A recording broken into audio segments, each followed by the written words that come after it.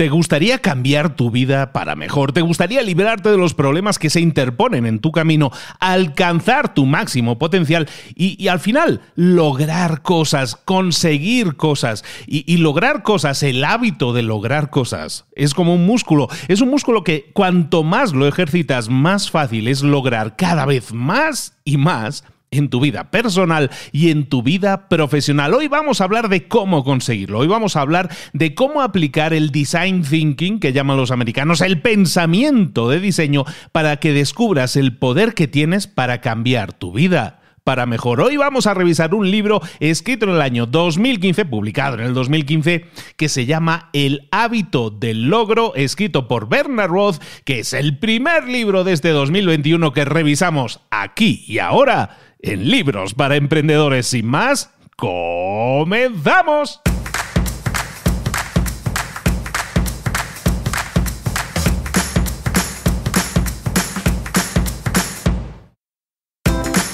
Bienvenidos al podcast Libros para Emprendedores.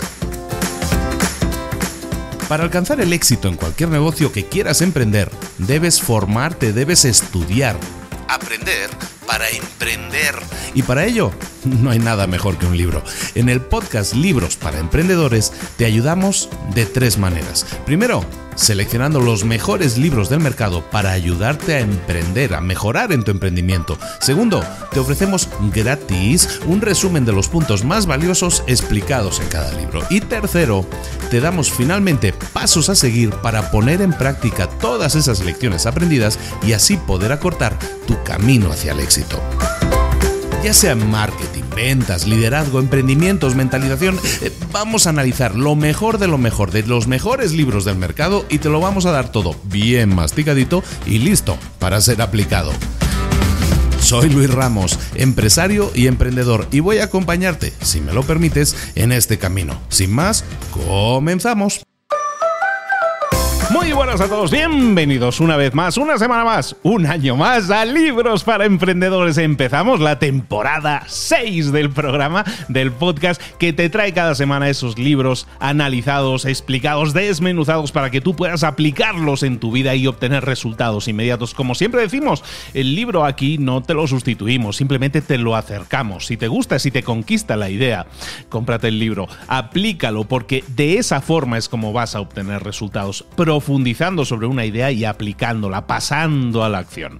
Te recordamos que no solo nosotros estamos potenciando al emprendedor que llevas dentro, también nos acompaña en este camino, por ejemplo, Librerías Gandhi. Librerías Gandhi está obsesionada con ayudar a los emprendedores y tiene toda una serie de herramientas, en este caso los libros, que te pueden servir para potenciar, para potenciar tu capital emprendedor. Si vas a gandhi.com.mx barra libros para emprendedores, ahí vas a encontrar toda una selección de libros que Gandhi, eh, la librería Gandhi ha seleccionado para ti, para ayudarte a emprender, para ayudarte a mejorar en tu emprendimiento. Y, está claro que ahora con la que nos está cayendo necesitamos toda la ayuda posible. Librerías Gandhi lo sabe y te está apoyando en ese sentido. Recuerda en gandhi.com.mx barra libros para emprendedores tienes la mejor selección de libros para emprendedores para ayudarte, para potenciarte en tu crecimiento eh, personal y profesional. Y uno de los libros, precisamente, que tienes ahí en ese apartado de libros para emprendedores en Librerías Gandhi, es este libro que vamos a ver hoy, que se llama El hábito del logro, The Achievement Habit, que es un libro escrito, publicado en el 2015 por el señor Bernard Roth. Este señor es profesor de ingeniería en la Universidad de Stanford y tiene un curso que, vamos, como dicen en España, lo está petando, pero de una manera increíble. Existe una cosa que le llaman el taller de creatividad, que él es uno de los co-creadores del taller de creatividad de la Universidad de Stanford. Y ahí hacen un curso, él da un curso, entrega un curso que tiene que ver precisamente con el design thinking, con el pensamiento de diseño, que es el kernel, que es el corazón de este libro que vamos a ver hoy, y cómo aplicando ese design thinking, ese pensamiento de diseño, y lo podemos poner en práctica en nuestra vida personal y en nuestra vida profesional y obtener más y mejores resultados, saber cómo enfrentar problemas de una manera más constructiva, más creativa, más creativa, no intentando muchas veces destruir el problema que tenemos enfrente, sino muchas veces buscando alternativas, buscando rodeos para evitar chocar contra ese gran problema. Ese curso, como te digo, eh, de Bernard Roth en, el, en Stanford se ha transformado en este libro que se llama El hábito del logro y es un fantástico libro que, como decíamos, lo puedes encontrar en librerías gandingandi.com.mx barra libros para emprendedores. Y es el libro que vamos a ver hoy, este libro escrito por Bernard Roth, en el que te digo, se habla del pensamiento de diseño. El pensamiento de diseño no es algo novedoso, aunque es una, el design thinking se ha puesto muy de moda en los últimos años, suena bien, es como muy cool decir design thinking bueno, Design Thinking en realidad es una práctica que los ingenieros llevan utilizando durante generaciones. No es nueva, pero se basa en cinco prácticas generales que los ingenieros habían desarrollado durante muchos años y que les servían para resolver retos de diseño. Entonces, ¿en qué se basa el design thinking? El pensamiento de diseño se basa en esos cinco principios. El, el, primer principio es la empatía, empatizar. Todo comienza por empatizar con, en este caso, tu cliente, tu usuario, y ver las cosas a través de sus ojos. De esa manera es como puedes encontrar un mejor producto, una mejor experiencia. Necesitas conocer los deseos, las necesidades de tu usuario, que es finalmente el objetivo final que, que tenga en sus manos ese producto, ese servicio. Entonces, lo primero, empatizar con tu usuario. Lo segundo, definir el problema, el problema real. Definir el problema que quieres resolver es buscar la pregunta para la cual tenemos que encontrar una respuesta. Seguramente va a haber muchos problemas, muchas capas de problemas. A lo mejor el problema que nos enfrentemos originalmente si escarbamos un poco, si le quitamos una serie de capas a la cebolla, nos encontraremos que el problema en realidad de origen es otro. Y eso es lo que hacemos en ese segundo punto, definir el problema. La tercera parte de este sistema de cinco pasos es la idea, idear, encontrar una serie de posibilidades que podrían funcionar, una serie de soluciones potenciales mediante brainstorming, mediante mapas mentales, mediante eh, muchas herramientas que puedes utilizar, cada uno va a preferir la suya, pero básicamente lo que buscamos es encontrar potenciales soluciones, varias potenciales eh, soluciones, idear cuáles de ellas pueden ser eh, funcionales.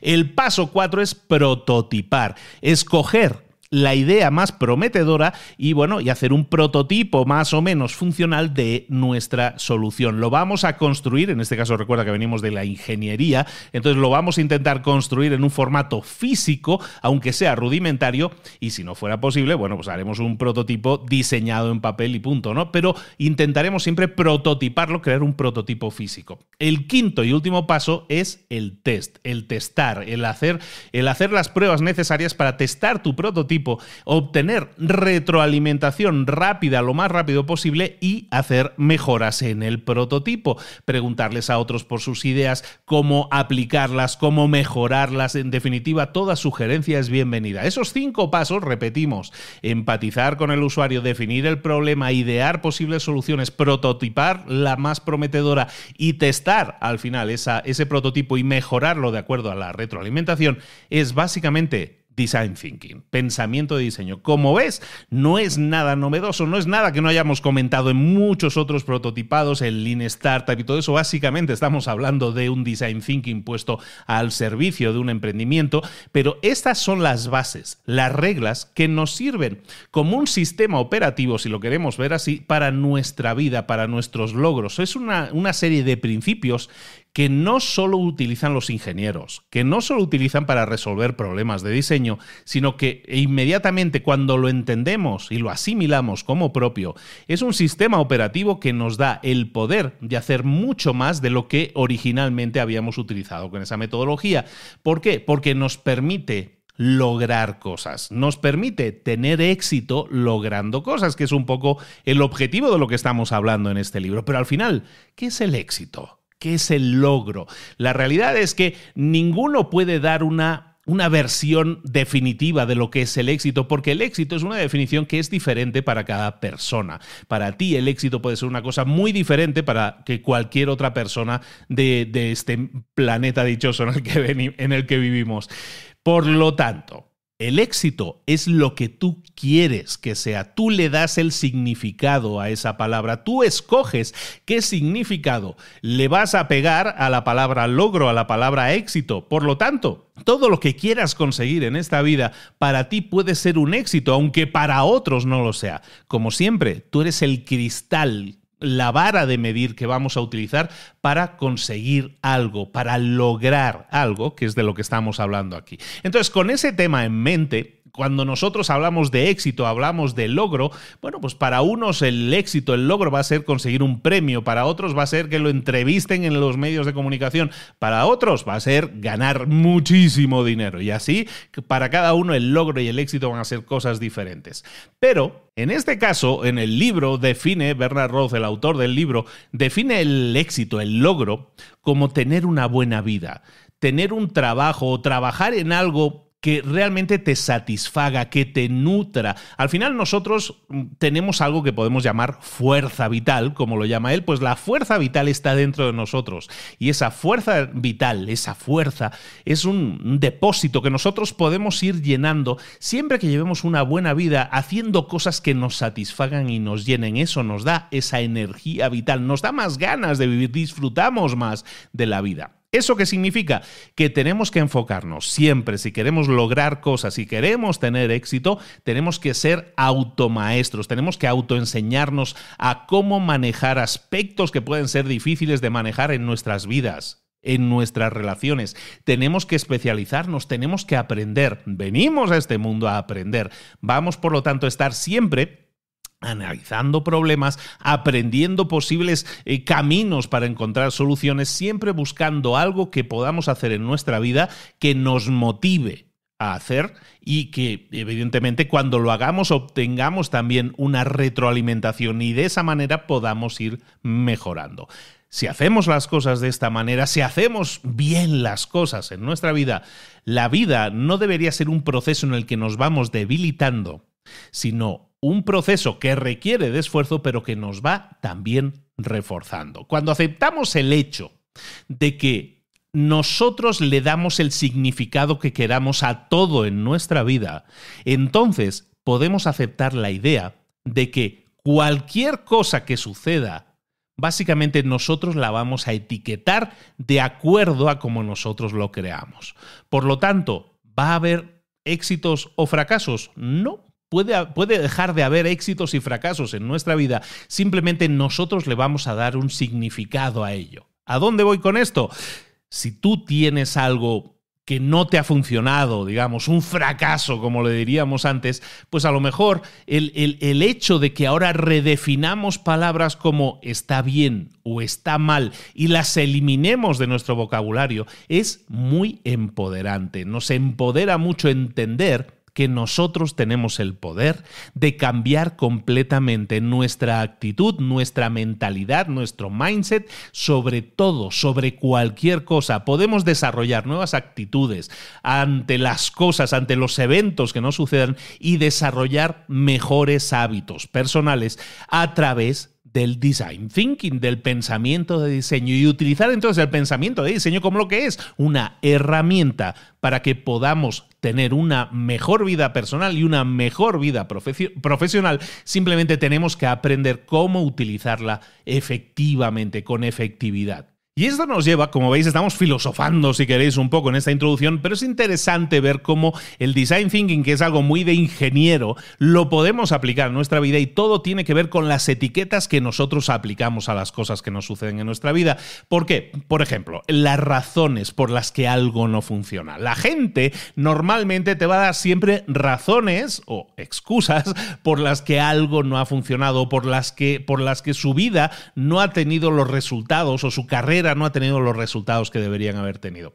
Eso es una falacia. Las, razones son solo excusas que, que quedan muy bien cuando hablamos con un amigo en una cena, pero si realmente algo te preocupa lo suficiente, siempre vas a encontrar una manera de conseguir que suceda. La próxima vez que alguien te dé la razón eh, sobre algo, la razón por la que algo no ha funcionado, intenta siempre poner en práctica este ejercicio que vamos a ver ahora. Se llama el ejercicio del después que pasa. Así de sencillo. ¿Qué es el después que pasa? Es básicamente que entendamos algo. Cada vez que, nosotros eh, nos enfrentamos con algo que tenemos que realizar en nuestra vida, ¿qué es lo que sucede? Empezamos a imaginarnos situaciones. Si, si sucediera esto, entonces voy a obtener este resultado. Ay, pero ¿y si sucediera esto esto esto? En definitiva, tenemos una batalla mental, un, un lío en la cabeza en el que estamos explicándonos a nosotros mismos las cosas que pueden pasar. Y muchas veces la gente no pasa a la acción. Lo que vamos a ver en este libro, sobre todo, el gran mensaje es que tienes que pasar a la acción. Pasar a la acción básicamente es no darle tantas vueltas a las cosas. Entonces, el después que, que pasa, básicamente, tiene que ver, imagínate que estás hablando con otra persona y esa persona te está dando, entre comillas, una razón, es decir, te está dando una excusa para hacer o no hacer algo. Cada vez que una persona te dé una excusa o un razonamiento para hacer o no hacer algo y, que le está dando vueltas en la cabeza, tú pregúntale, vale, tú tomas esa decisión y después ¿qué pasa? Es una muy buena razón, pero ¿y después qué pasa?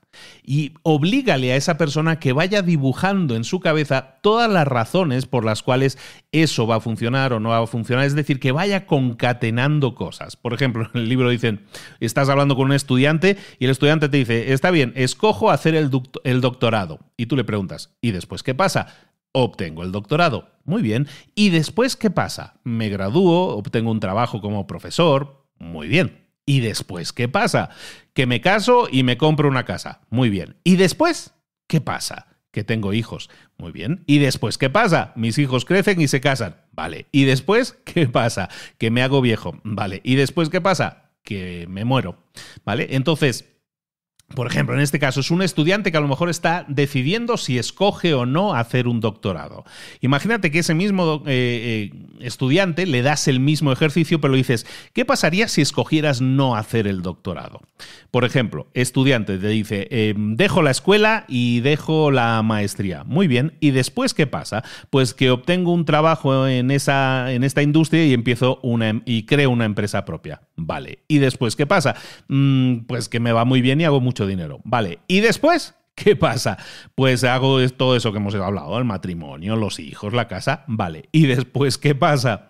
Que me hago viejo y me muero, vale. Si te das cuenta, al final, el resultado final es el mismo. No importa qué camino sigas, al final te vas a morir. Entonces, muchas veces, este es un ejemplo de que, de que muchas veces hacemos eh, acuerdos internos con nosotros mismos preguntándonos cosas de, ¿y si tomo este camino, qué pasaría? Y te imaginas que ese camino es el correcto, ¿no? Antes hablábamos del, del bien y del mal, ¿no? Del acertar o errar, ¿no? Y eso no debería existir, simplemente debería existir el ejecutar, ejecutar y analizar los resultados. Y dejar de ver nuestras decisiones de vida como algo, algo así como un juez, ¿no? Que toma una gran decisión y es inapelable. No, Vamos a ver nuestra vida como algo en que a lo mejor debemos dejar de tomar tantas decisiones graves y empezar a ejecutar, empezar a probar cosas, como decíamos, pensamiento de diseño, probar, testar nuestras ideas, ver si funcionan y si no funcionan, pues obtener alguna retroalimentación. Eso es pensamiento de diseño y en este caso podría ser aplicado perfectamente a nuestra vida. Al final de lo que estamos hablando aquí es de, frases que, hemos escuchado hasta en muchos refranes o dichos populares, como el, dicen los americanos, el actions speak louder than, words, ¿no? Que las acciones hablan más fuerte que las palabras. Y ahí es donde está la clave. Al final todo se reduce a la diferencia entre, entre intentar hacer algo y hacerlo, entre hablar de hacer algo y actuar. Al final todo depende de eso, de la intención de la atención. ¿Realmente tú tienes la intención de hacerlo? ¿Estás dispuesto a darle toda la atención que, que, requiere algo? Y muchas veces no estamos dispuestos y por eso le damos mil vueltas a las cosas. Mira, una de las mayores excusas que la gente da para no alcanzar sus metas, los logros, que es normalmente es que no tengo tiempo. Me falta tiempo para hacer todo lo que debería hacer para conseguir algo, ¿no? Y esa excusa es una excusa que no se aguanta eh, por nada, ni, ni con palillos la puedes aguantar. ¿Por qué? Porque hay muchísima gente que te da ejemplos de que con las mismas 24 horas que tú tienes consiguen cosas y resultados muy diferentes a los que tú estás consiguiendo. Pregúntaselo a Bill Gates, pregúntaselo a Steve Jobs, a Einstein, a, Martin Luther King, a cualquier gente que consideremos de éxito y que han tenido, o casualidad, las mismas 24 horas en el día que tú también estás teniendo. Entonces, si ellos pudieron gestionar la forma en que trabajaban, el tiempo que tenían y dedicarlo a conseguir algo, estamos hablando de gente que en muchos casos no tenía teléfonos que son como grandes ordenadores, no tenía internet, no tenía todas esas herramientas que en teoría nos facilitan la vida, pero aún así gestionaron su tiempo, su energía, de tal manera que consiguieron hacer todo aquello que querían hacer en la misma cantidad de tiempo que tú tienes. Entonces, todo se reduce al final a la intención y a la atención. ¿Tienes intención real de hacer las cosas? ¿Le vas a dedicar la atención necesaria? El pensamiento de diseño también requiere de que tú trabajes en los problemas que tienes, que los enfrentes. Pero ojo, como decíamos también antes, no intentando destrozarlos, no intentando atravesarlos. Para hacer eso, lo que tienes que hacer es analizar primero el problema. Y muchas veces el problema al que nos enfrentamos, cuando nos aparece un problema, realmente ese no es el problema real, sino simplemente un síntoma del problema real. Básicamente, tenemos una cebolla a la que le tenemos que quitar las, las, capas para encontrar una mejor respuesta, porque la mejor respuesta siempre llega cuando hacemos la pregunta adecuada. Y esto nos lleva a otro ejercicio que te voy también a ilustrar con un ejemplo que viene en el libro, que es el básicamente preguntarnos cuando nos enfrentemos a un problema, cuando tú te enfrentes a un problema, Básicamente, tradúcelo a una pregunta. Imagínate que eh, la, la, pregunta original que tú te vas a formular para resolver determinado problema es ¿cómo podría yo? Y entonces, el problema que quieres resolver. ¿eh? ¿Cómo podría yo resolver determinado problema? Una vez te hayas hecho esa pregunta, probablemente te van a venir ideas, pero vamos a intentar profundizar un poco más. Dice el pensamiento de diseño, no te quedes ahí, Vamos a quitarle esa capa a la cebolla y vamos a seguir preguntándonos, preguntándonos cosas como, ¿qué, si yo resolviera este problema, qué significaría eso para mí? Si yo resuelvo este problema, ¿qué significaría eso para mí? La respuesta a esta pregunta te lleva a ese siguiente nivel en el que puede haber otra pregunta diferente a la original. Tienes que repetir este ejercicio tantas veces como sea necesario hasta llegar a la pregunta definitiva, a esa mejor pregunta que nos vamos a formular para obtener una mejor respuesta, una respuesta cualitativamente mejor. Cuanto más profundicemos, más opciones vamos a tener. Por ejemplo, vamos a ver esto con un ejemplo que lo vamos a ver muy fácil, además, vamos a ver un par de ejemplos. Mira, Imagínate que tu cama está rota y por lo tanto no puedes dormir bien, duermes muy incómodo y te despiertas toda la noche. Bueno, ese es el problema. Entonces, tu pregunta original es, eh, ¿cómo podría yo, no? Decíamos, ¿cómo podría yo reparar mi cama, no? ¿Cómo podría yo reparar mi cama? Esa es tu pregunta original, vale. Si seguimos este pensamiento de diseño que nos proponen en el libro, la siguiente pregunta que deberíamos hacernos en realidad es, eh, si resuelvo este problema, ¿qué significaría para mí? ¿Qué significaría para mí resolver este problema? Resulta que si tú te centras en esta pregunta, que es una mejor pregunta, te, te dirías, bueno, pues yo lo que quiero no es reparar la cama. Yo lo que quiero realmente, lo que significaría para mí resolver ese problema, pues significaría una buena noche de sueño y que me sentiría mucho mejor, más relajado, más, más descansado. ¿Vale? Entonces, cuando nos hacemos ese tipo de preguntas, nos encontramos a un nivel más avanzado. Entonces, nuestra nueva y mejor pregunta, entonces es el cómo podría yo, volvemos a hacerlo, pero ya no podríamos, ya no nos preguntaríamos cómo podría yo reparar mi cama, sino me preguntaría cómo podría yo obtener una mejor noche de sueño. Si te fijas, en la, pregunta original es cómo podría yo reparar mi cama. Pero si me pregunto, oye, ¿para qué quiero? O sea, ¿qué, significaría para mí reparar ese problema o reparar mi cama? ¿Qué, ¿Qué pasaría? Pues resulta que entonces dormiría mejor, ¿vale? Entonces vamos a activarnos mejor con esa pregunta. ¿Qué puedo hacer? ¿Qué podría hacer para dormir mejor, para obtener una mejor noche de sueño. Y entonces, ¿qué va a suceder? Cuando nosotros hacemos este ejercicio, las soluciones potenciales, si te acuerdas aquellos pasos del pensamiento de diseño, las soluciones potenciales pueden ser varias y pueden ser diferentes. A lo mejor no tengo que atacar directamente el problema de reparar la cama, sino que puedo pensar en otras cosas diferentes. Soluciones potenciales. Sí podría incluir reparar la cama, evidentemente, pero también a lo mejor otra solución al problema podría ser muy simple, comprar una cama nueva.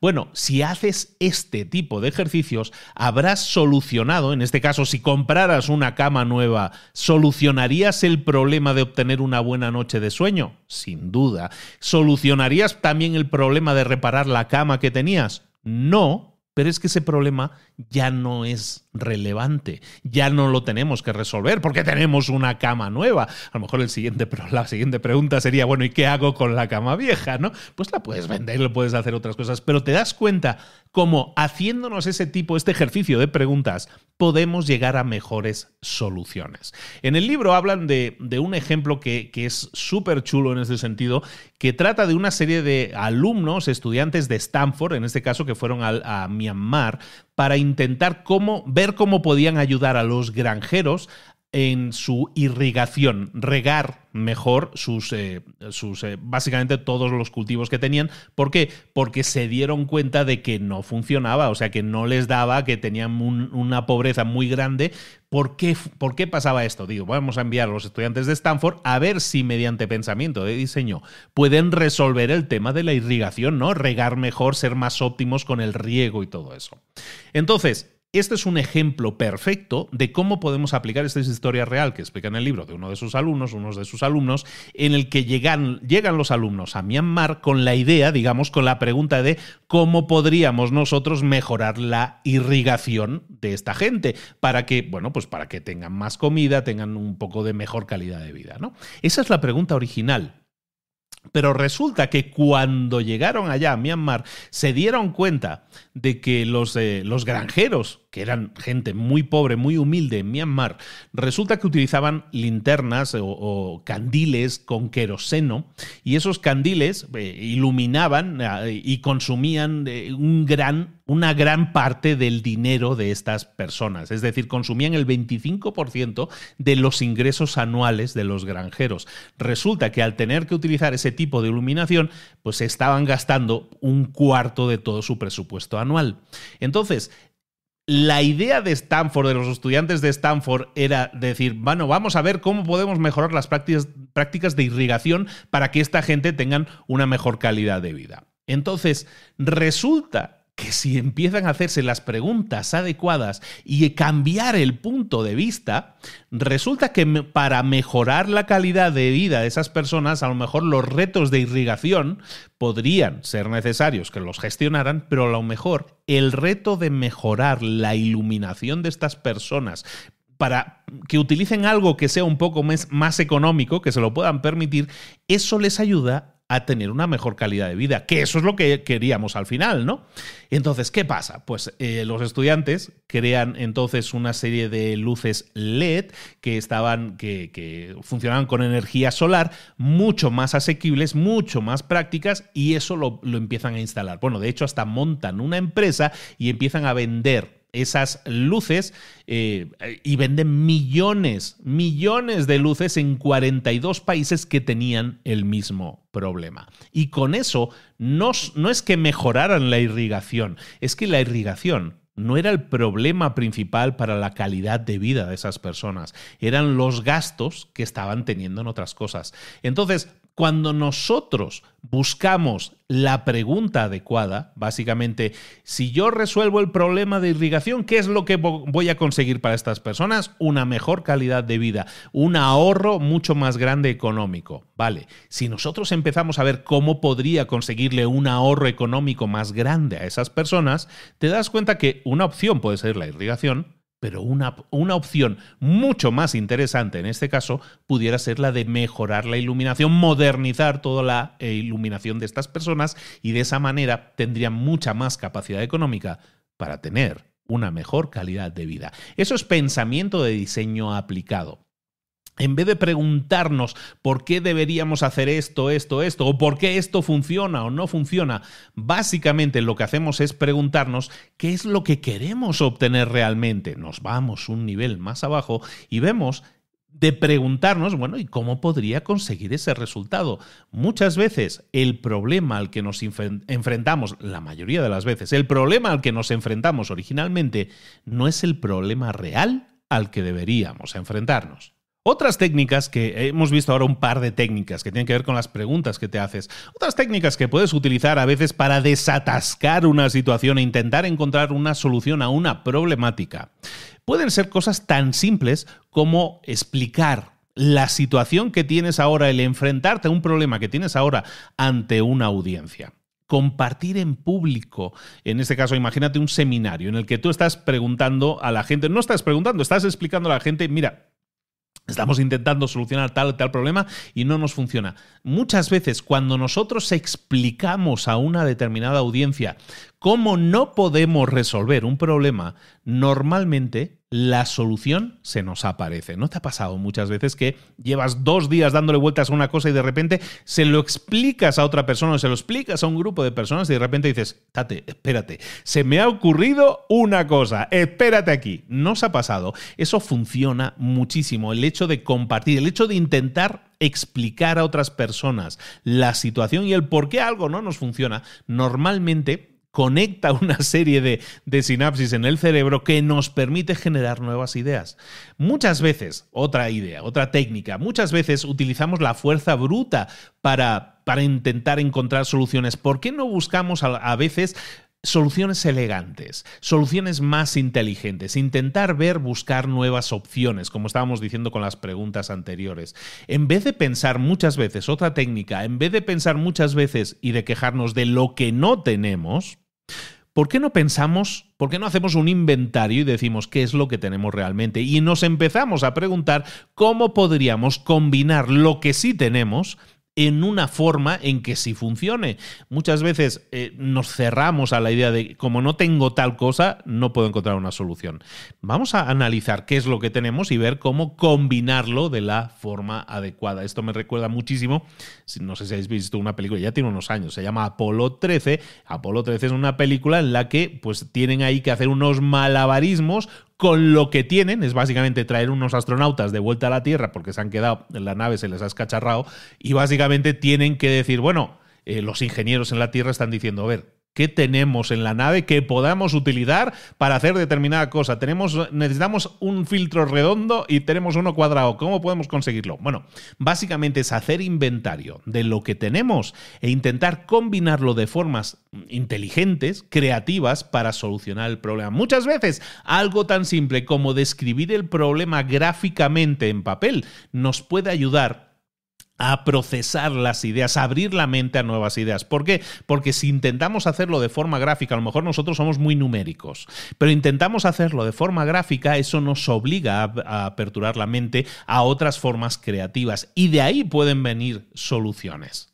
Al final hay un montón de técnicas que puedes utilizar. El brainstorming, la tormenta de ideas, es expresar una idea sin analizarla demasiado, simplemente, básicamente, vomitar ideas y, y, de ahí pueden salir ideas, nuevas conexiones, ¿no? Hacer una lista de todas esas posibles soluciones, por muy imprácticas que sean algunas, ¿no? Y otra forma de a veces enfrentar problemas tiene que ver, como hablábamos antes de compartirlo con una audiencia, ¿no? Bueno, vamos a intentar compartirlo también con personas que tengan experiencia, que sean expertas, pero en otros campos, en otras áreas completamente diferentes. A veces una conversación casual que puedas tener allí en la cafetería con alguien que, que pueda ser súper creativo en otro tema totalmente diferente al tuyo, te puede llevar a cultivar, a generar nuevas ideas. Al final, cambiar de ideas tiene que ver con exponerse, con forzarse a salir de esa área en la que estamos pensando habitualmente. El, pensamiento de diseño nos lleva a generar nuevas posibles soluciones, vamos a llevar un registro de todas esas posibles ideas y vamos a ver cómo esas ideas que tenemos ahora mismo, a lo mejor combinándolas de la fórmula, de la forma adecuada, nos puede servir para obtener un resultado. El típico, eh, eh, la típica situación, le llaman los americanos el what if, ¿no? El, em, el qué pasaría si. Imagínate que nosotros nos preguntamos a veces ante un problema, ¿qué pasaría si yo hiciera tal cosa? ¿Qué pasaría si hiciéramos tal otra cosa? Y eso nos puede llevar a, una cadena de pensamientos que nos puede llevar a, pues a tener debates en grupo o incluso a encontrar potenciales soluciones. Cuando tengamos esas potenciales eh, soluciones, lo que vamos a ver es buscar combinatorias, si es posible vamos a intentar ver cuáles tienen más posibilidades de funcionar, vamos a preparar diagramas, vamos a intentar prototipar soluciones, aquella solución, como decíamos en pensamiento de diseño al principio, prototipar la solución que creamos más efectiva. Y entonces tratar de atacarla directamente, ver si funciona y si no funciona, analizar cómo la podemos mejorar. Al final, todo esto se basa en pensar creativamente en formas de enfrentar un problema. ¿Para qué? Para al final tener una alternativa que a lo mejor no sea la obvia, pero con todos los ejercicios que te estamos comentando es más probable que encuentres esas soluciones creativas, ¿verdad? Que hay gente que decimos, ah, es que, ¿y esta persona cómo ha conseguido, de dónde se le habrá ocurrido esa solución tan creativa, tan diferente? Probablemente porque han hecho este tipo de ejercicios preguntándose o buscando hacerse mejores preguntas, preguntas que les lleven a obtener soluciones que, que parezcan muy atractivas y al final ponerlas en práctica, pasar a la acción. Y este tema, precisamente, nos lleva a explorar algo que tiene mucho que ver con la forma en que nos expresamos y con la forma en cómo actuamos. En, una parte del libro eh, que estamos viendo, recordemos, estamos viendo el hábito del logro, cómo conseguir hacer cosas, cómo hacer de, del hecho de conseguir cosas, hacer un hábito. Evidentemente, todo eso tiene que ver, como estamos insistiendo varias veces, en acción, en pasar a la acción. Y eso nos lleva a hablar ahora del lenguaje que utilizamos. Porque el lenguaje que nosotros utilizamos cuando hacemos las cosas tiene mucho que ver también con nuestra intención y nuestra atención que, comentábamos antes. Hay una gran, grandísima diferencia entre intentar hacer algo y realmente hacerlo. Cuando nosotros intentamos hacer algo, y piensa que es un tema de, de, lenguaje, ¿eh? pero muchas veces dices, bueno, pues voy a intentarlo a ver qué pasa. Bueno, cuando tú intentas hacer algo, ¿qué estamos diciéndonos a, nosotros mismos? Nos estamos eh, enviando el mensaje de decirnos, bueno, quizás esto suceda, lo consiga, quizás no lo consiga. Básicamente estás enviándote señales a ti mismo o a ti misma de que si aparecen obstáculos, pues probablemente me rinda. ¿Por qué? Porque simplemente lo estoy intentando. En cambio, cuando tú te centras en hacer algo, en conseguir algo, en lograr algo, entonces vas a hacerlo y no importa que, eh, que, sucedan obstáculos, que aparezcan barreras o cosas problemáticas, en definitiva, que siempre va a haber piedras en el camino, pero como tú te has centrado en hacer, en conseguir, en lograr eso, básicamente tú lo que vas a hacer es seguir enfrentando esos problemas de forma activa y, y no abandonar. Simplemente el cambio es dejar de decir voy a intentar hacer y el cambio es decir voy a hacer. Las dificultades en el camino van a aparecer siempre, en cualquiera de las dos formas. Si tú intentas hacer algo, si vas a hacer algo, eso, mm, los obstáculos van a aparecer en el camino. Pero cuando nosotros nos enfrentamos de esta manera, con esta mentalidad, la forma en que enfrentamos la vida tiene siempre un sesgo que nos lleva a la acción. La acción nos lleva a intentar siempre superar problemas. Es mucho mejor hacer cosas que no esperar a las condiciones adecuadas. Mm, en el libro nos hablan de Mark Zuckerberg y de los chicos de Facebook que estaban en Harvard y no esperaron en su caso, no esperaron, aunque no, ni siquiera acabaron la universidad la mayoría, no esperaron acabar la universidad para decir, bueno, y cuando acabemos montamos la empresilla, ¿no? No, no, directamente en los dormitorios allí del, del, college de Harvard, ahí empezaron a montar su empresa, no esperaron a graduarse de la universidad, a tener un título, sino que ya estaban haciendo, estaban haciendo, no estaban intentando, estaban haciéndolo. Entonces, ¿qué pasa cuando la acción, qué pasa cuando pasas? A la acción, que es la frase favorita de este podcast. Cuando pasas a la acción, pasa lo siguiente. Puede que tú estés investigando algo, pero en vez de investigar, en vez de estudiar algo, lo experimentas por ti mismo o por ti misma. Entonces, cuando tú experimentas algo, ya tienes conclusiones hechos que te sirven para tomar mejores decisiones. Tu metodología no se basa en ser un investigador que en un teórico investigador, sino en un investigador práctico que llega a sus propias conclusiones independientemente de los errores o fallos que haya obtenido en el camino, pero las conclusiones las obtiene a través del sesgo de investigador práctico que ha pasado a la, acción. Muchas veces, cuando nosotros decimos que queremos hacer algo, caemos en la trampa de las hipótesis, caemos en la trampa de estar pensando yo creo que haría A y, de esta manera seguramente conseguiríamos tal resultado. Eh, hacemos hipótesis, empezamos a pensar hipotéticamente qué es lo que pasaría. Pero ¿qué pasa? Cuando se nos presiona y tenemos que actuar con precipitación, normalmente hacemos lo contrario de lo que habíamos dicho.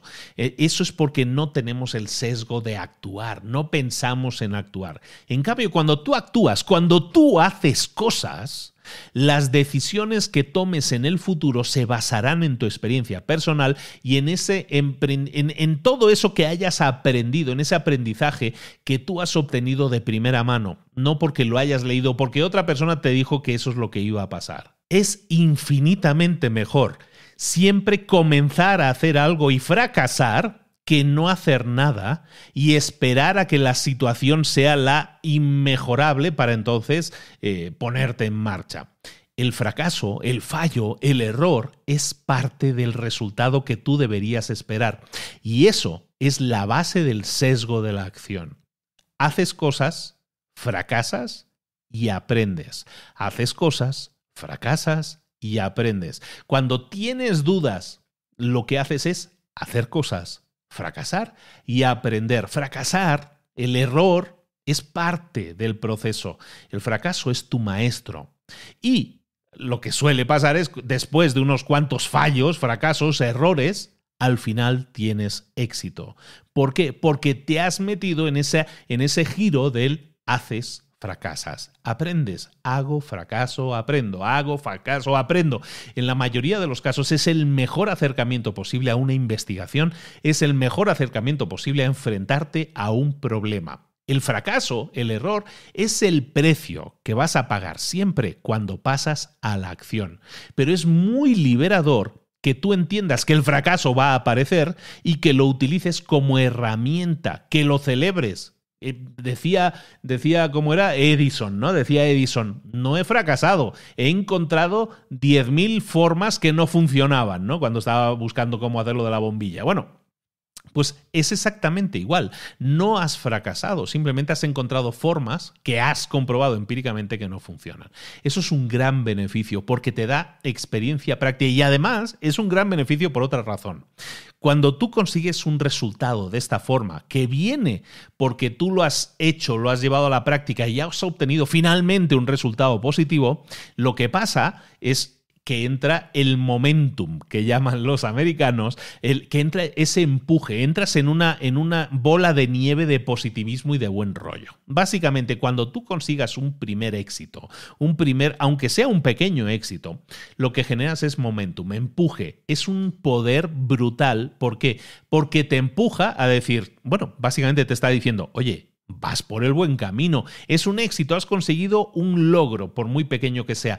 Entonces entras en ese hábito del logro que te empuja, te da energía, te da autoestima y te empuja a conseguir más y mayores éxitos en el futuro. Cuando das el primer paso y consigues hacer algo nuevo que funciona, entonces vas a saber que ese empuje, que estás en el camino adecuado y que entonces, si ya has conseguido algo que tiene un tamaño de 10, es muy probable que si sigues por ese camino y ahora con esa práctica consigas que el siguiente resultado sea tamaño 20 o tamaño 50 o tamaño 1000.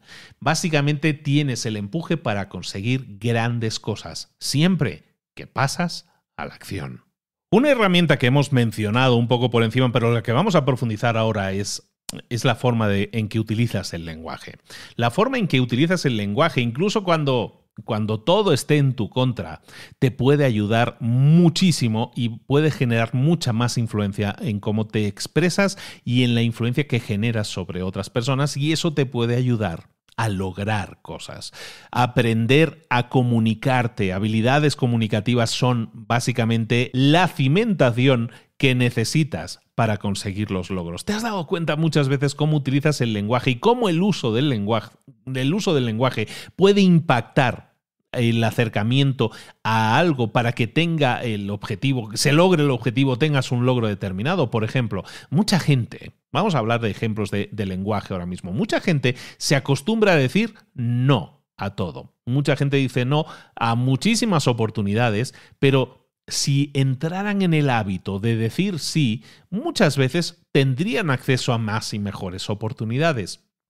Como decíamos, no tenemos que dejar de analizar las cosas en el caso del bien y del mal, en el caso de que pueda generar un error o no. Recordemos que de los errores queremos aprender. Entonces, muchas veces meternos en el hábito de decir sí es mucho más interesante para crearnos nuevas oportunidades. Muchas veces utilizamos el lenguaje también de forma negativa cuando decimos pero. No, me gustaría hacerlo, pero no creo que lo pueda hacer. Si nosotros sustituyéramos siempre la palabra pero por la palabra y, por la conjunción, si yo la sustituyo, ¿qué es lo que sucede? Cada vez que yo mm, esté tentado, en mi caso, de decir pero, eh, y lo sustituyo por y, eso va a hacer que mi mente esté mucho más abierta, mucho más colaborativa y mucho más inclusiva. Y lo que voy a hacer es no buscar obstáculos, intentar idear obstáculos o encontrar peros o encontrar cosas negativas, sino y va a significar añadir cosas positivas a esa idea de la que estés hablando. Sustituir el y cuando estés diciendo, cuando quieras decir, pero te va a ayudar muchísimo. También el, frases típicas como tengo que hacer algo, cada vez que tú dices tengo que, básicamente estás arrojando negatividad a una conversación. ¿Por qué? Porque estás diciendo como que estás obligado a hacerlo. En cambio, si sustituyes el tengo, el tengo que por el quiero, quiero hacer algo, ¿no? En vez de tengo que hacer algo, quiero hacer algo, entonces te vas a encontrar con un lenguaje mucho más inclusivo, más positivo y que te va mentalmente a poner en un lugar mucho mejor para conseguir solucionar ese problema. De la misma manera, variaciones como el debería, eh, si lo sustituíamos el, el, debería por el quiero hacer algo, eso también nos ayudaría, ¿no? Es que debería hacer esto evidentemente después de un debería siempre viene un pero, ¿no? Indudablemente. Entonces, en vez de el decir debería, pues voy a decir quiero hacer algo, quiero ayudar de esa manera. Como ves, el lenguaje es una parte importantísima del hábito del logro, sobre todo cuando trabajas con otras personas. Siempre que quieras lograr algo, vas a tener que trabajar con otras personas. Entonces es conveniente que si quieres lograr algo, utilices el lenguaje inclusivo adecuado. Y por inclusivo, que incluya positivismo en este caso. Cosas que puedes aplicar en tu vida para ser un mejor comunicador, una mejor comunicadora. Puntos muy fáciles de entender. Punto uno, habla siempre desde tu propia experiencia y describe siempre solo tus propios sentimientos o tus propias sensaciones. En vez de hablar de forma abstracta, que es como solemos hablar muchas veces, eh, diciendo frases como todo el mundo sabe, todos creemos, todos pensamos, ¿no? Ese plural majestático que dicen. Bueno, pues si nosotros cambiamos ese lenguaje y empezamos siempre a hablar desde nuestra propia responsabilidad, aceptándola, y empezamos a decir cosas como yo sé, yo pienso, mi reacción es esta, si hablamos de esta manera, hablamos de una forma mucho mejor, comunicamos mucho mejor y la gente nos entiende mucho mejor que si utilizamos eh, las, eh, entre comillas, educadas generalizaciones de todo el mundo sabe que, no sé qué, que es siempre de alguna manera una manera muy, muy ladina de decir las cosas. El segundo punto para una mejor comunicación es que dejemos de juzgar sobre todo en situaciones tensas. Si estamos en una situación, en una discusión, en un tema tenso, no emitamos ningún tipo de juicio. Siempre explica tus sentimientos, sensaciones, emociones y quédate ahí. Nunca intentes analizar o entender o describir cómo el otro se siente o juzgar, mucho menos, cómo el otro debería sentirse. Otro punto interesante para mejorar tu comunicación es que reconozcas que la, otra persona con la que estás hablando también tiene problemas. Eh, eso es empatía. Escuchar a la otra persona, entender qué es lo que está sucediendo, qué les está sucediendo y qué les está generando. No intentar hacer siempre, generar un consejo directamente, intentar resolver los problemas a menos que te lo pregunten directamente. Muchas veces regalamos consejos o intentamos resolver los problemas de otros y eso es lo que la gente no lo quiere, simplemente quiere escuchar y ser escuchada. Luego, muy importante también para mejorar la comunicación, otro truquillo que comentan en el libro es que no hagas preguntas que comiencen con la palabra o con en este caso con la pregunta ¿por qué? ¿Por qué? Son preguntas que siempre van a hacer que la otra persona se ponga a la defensiva. Entonces, en vez de hacer preguntas por qué, vamos a intentar eliminar cualquier pregunta por qué y vamos simplemente a definir cuál es nuestra postura ante una determinada cosa y lo vamos a dejar ahí. Nunca vamos a, preguntarle a la otra persona el por qué, porque de esa manera lo que vamos a obtener es eh, crispación se van a poner a la defensiva. Luego, empatiza siempre y escucha primero, como decían en los siete hábitos, escucha primero a la otra persona antes de hablar. No interrumpas. Aunque sepas lo que va a decir, aunque sepas lo que, lo que ha eh, experimentado esa persona, no la interrumpas. Simplemente escucha lo que dice esa persona y planifica qué es lo que tú vas a decir después, cuando se pueda. ¿Qué es lo que están diciendo? Ellos, escúchalo, planifica lo que vas a decir después y cuando tengas la oportunidad, dilo. No antes, no interrumpas a los demás relacionado con este tema y también para mejorar la comunicación, que hay muchísimos puntos, intenta siempre clarificar, repetir qué es aquello que estás escuchando. Muchas veces te están explicando cosas y tú las puedes estar entendiendo de, una manera, pero la intención de esa persona a lo mejor es muy diferente. A veces las palabras son difíciles de, de utilizar y mucha gente no tiene a lo mejor una gran habilidad con la palabra y le cuesta describir la situación entonces en ese caso identifica o intenta identificar el problema principal y simplemente verifica asegúrate de que lo has entendido correctamente. Los grandes comunicadores utilizan siempre este tipo de frases todo el tiempo. Eh, frases del estilo, ah, vale, entonces lo que yo estoy entendiendo es, ¿no? Y, y básicamente repetimos qué es lo que nosotros estamos entendiendo. Lo que estoy entendiendo es que tú, bla, bla, bla, bla, bla, bla. O según lo que yo escucho, yo creo que tu problemática va por aquí. Eh, déjame verificar si lo he entendido bien. Tú estás diciendo que, bla, bla, bla. Básicamente todo este tipo de frases lo, que te sirven es para verificar que lo has entendido correctamente, pero también para emitir un, emitir un mensaje de decirle a la otra persona, te he escuchado, estoy empatizando contigo y es tanto así que quiero repetirte lo que yo he entendido para ver si lo he pillado bien o me, o me he liado. Ser un gran comunicador también implica saber manejar conversaciones difíciles, esas en las que hay sentimientos, en las que hay creencias, en las que hay em, temas que están en tela de juicio. Y esas conversaciones van a mejorar siempre cuando tú intentes cambiar la atmósfera de forma positiva.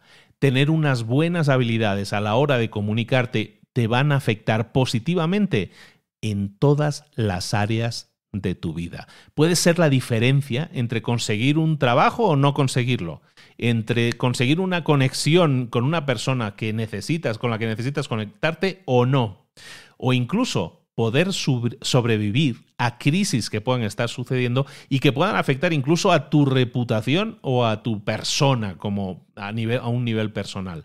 El mejor comunicador no es necesariamente la persona que conoce las mejores y más bonitas palabras y expresiones, ni el más simpático ni el más sonriente.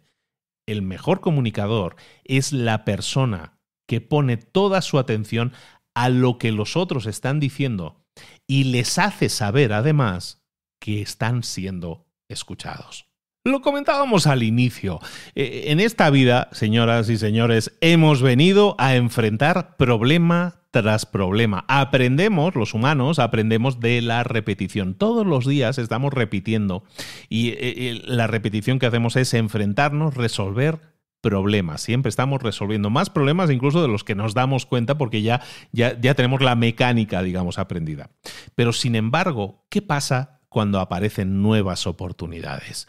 Eh, hablábamos antes del, lenguaje del sí y el no, ¿no? Nos acostumbramos a decir que no, pero también estábamos viendo de, de, cómo manejar esas situaciones en las que si tomamos una decisión, el resultado va a ser uno. Si tomamos la decisión contraria, a lo mejor vamos a conseguir la misma meta, el mismo final, ¿no? Al final no vamos a morir todos. Entonces, ¿cómo respondes a una nueva oportunidad que aparece en tu vida personal o en tu vida profesional?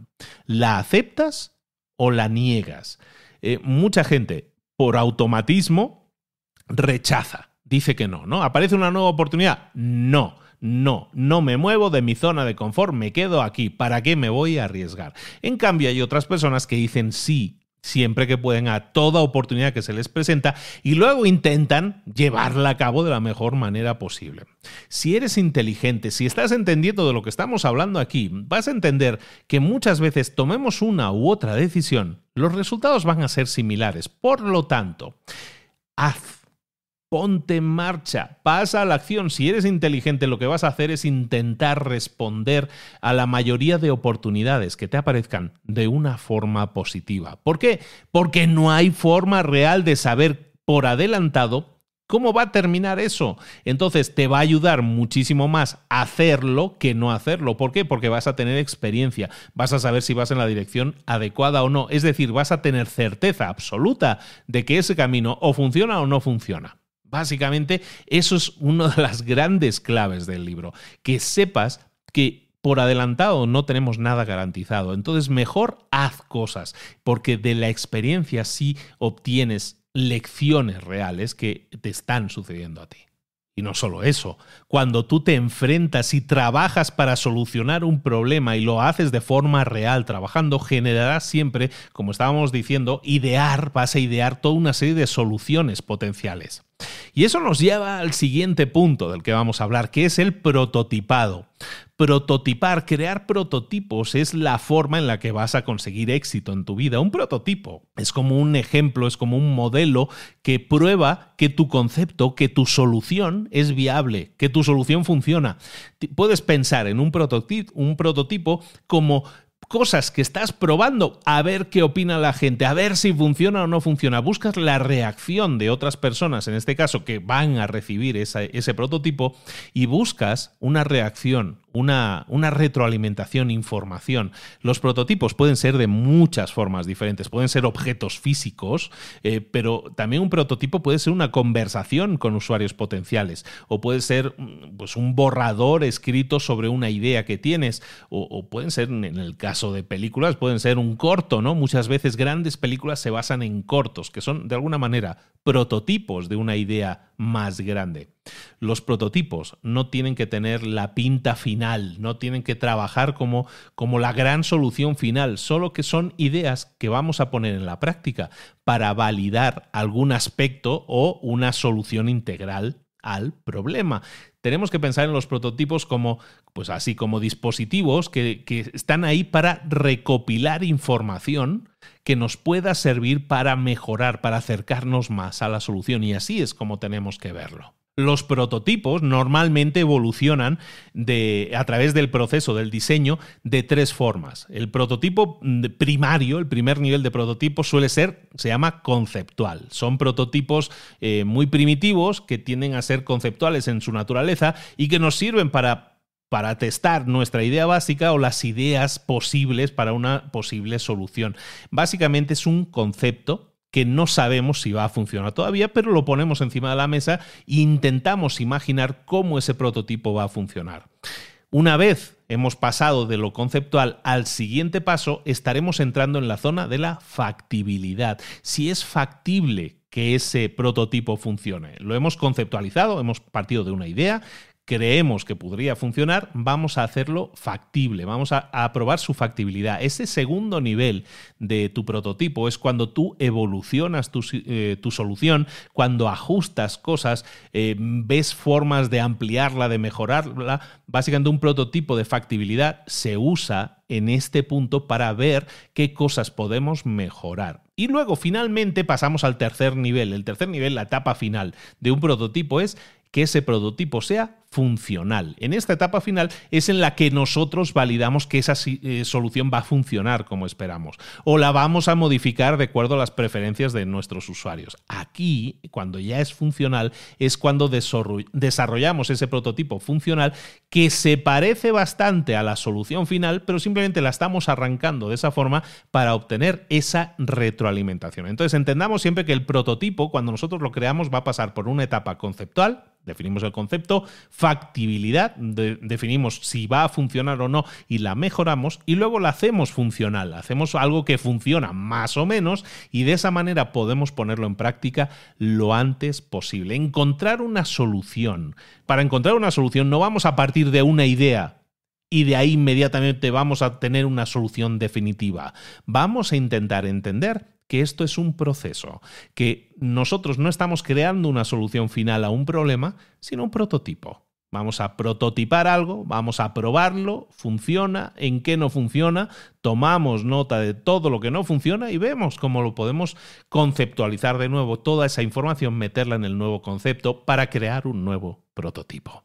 Al final, y con este tema vamos a terminar, vamos a ir cerrando nuestro análisis de este libro, es que busquemos ser la causa de cosas buenas en la vida, no la víctima de las circunstancias. Básicamente de lo que hemos estado hablando ahora, de ser proactivos, de estar activos y, no esperar a que otras personas hagan las cosas por nosotros, sino nosotros ser aquellos, eh, aquellos que causan las cosas buenas en la vida. Básicamente tú vas a conseguir más cosas en, el, en, la vida si decides ser la causa de esa temática en vez de esperar que alguien más lo haga por ti o esperar que las eh, circunstancias sean las perfectas para entonces ponerte en marcha. Tienes que hacer un compromiso contigo mismo, contigo misma, de probar las cosas por ti mismo y, y ver qué es lo que sucede en vez de confiar en lo que otras personas dicen.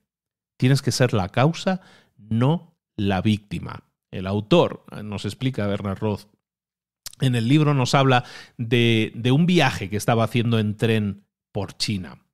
Y en ese viaje en tren se dio cuenta de que las, eh, bueno, obviamente, se dio cuenta, vio al momento que las ventanas del tren en el que estaba viajando en un viaje largo por China eran ventanas que estaban muy sucias y prácticamente no se podía ver nada opciones que podía haber hecho en este caso, de ser la víctima de las circunstancias o ser el causante de cosas buenas. En este caso podía haber esperado eh, a que otra persona lo limpiara, si se diera cuenta, podía haberse quejado y, hacer que otra persona lo hiciera eh, o quejarse a ver si otra persona lo hacía, pero en vez de eso, se responsabilizó. Y durante una parada en una estación consiguió un cubo de agua y lavó las ventanas decidió ser la causa en esa temática, en ese tema en concreto, en vez de ser una víctima de las circunstancias.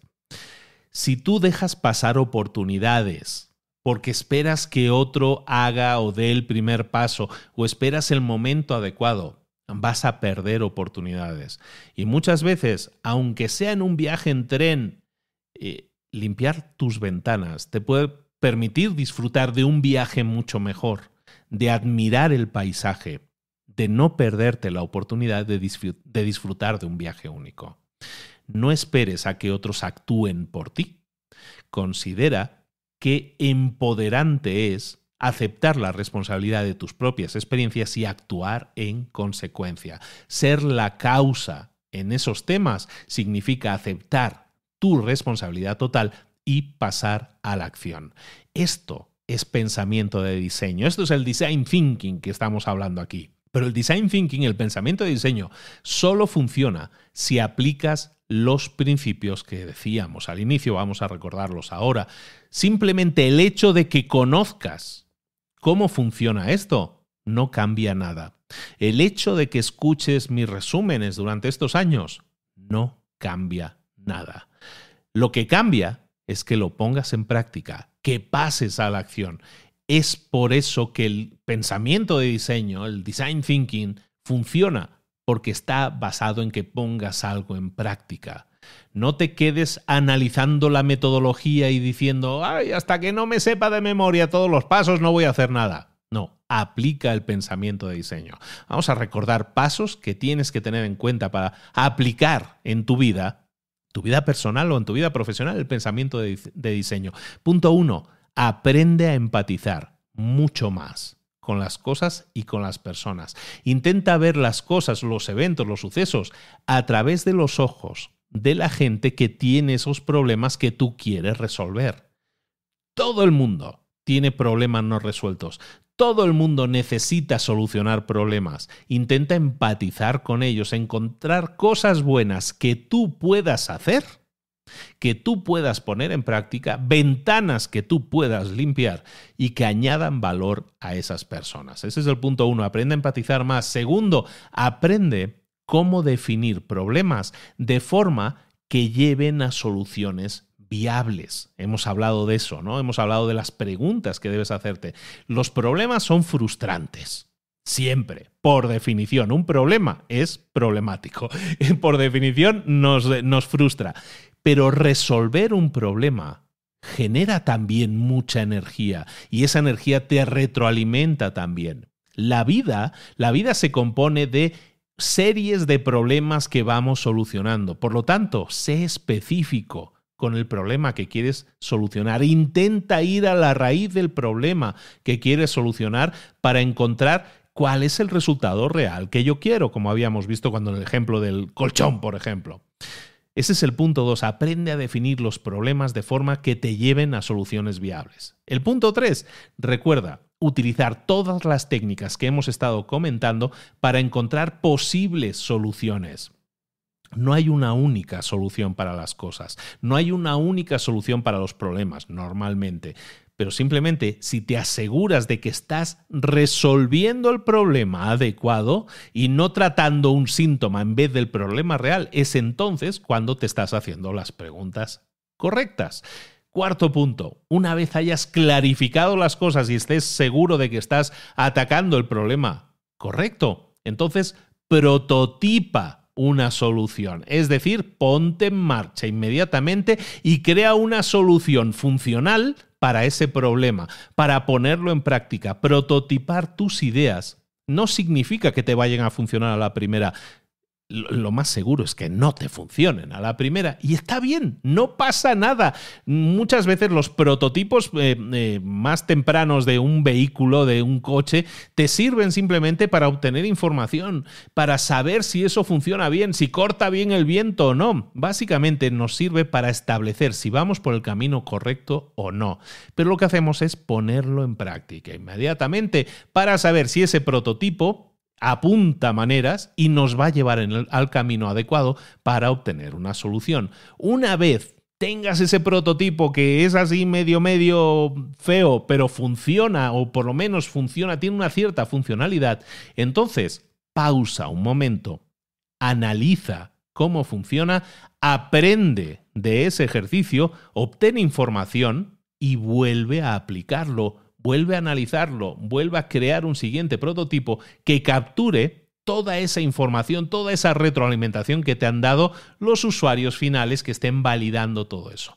La validación es lo más importante y la validación no es otra cosa que tener una idea, prototiparla, ponerla en práctica y analizar si funciona o no funciona y si no funciona o si funciona, retroalimentación, información, qué puedo saber, qué puedo aprender de esta práctica y qué puedo aprender para mejorarlo en la siguiente iteración, en la siguiente vuelta en la que haga un siguiente prototipo. Esto es pensamiento de diseño y eso es lo que te va a permitir integrar en tu vida el hábito del logro. Lograr cosas no se logran de forma divina o poniendo una velita a la Virgen, como siempre comentamos. Normalmente se consiguen de una forma más empírica, más segura. El hábito del logro se logra haciendo cosas, poniendo en práctica, prototipando, validando nuestras ideas e intentando siempre volver a intentarlo, pero de una forma mejorada. Esto es el resumen, este es mi análisis del hábito, del logro, libro de Bernard Roth publicado en el año 2015 que espero que te haya gustado mucho y que nos sirve tiendo a, en los eh, primeros libros de cada año de que tengan que ver, ya como, ya, como, ya como soy veterano en esto del podcast, ya tengo ya como unos hábitos. Uno de ellos es hablar de libros que tengan que ver con hábitos siempre que estamos iniciando un año. Y en este caso se me hace interesantísimo que el hábito del logro sea el libro que estemos visitando. ¿Por qué?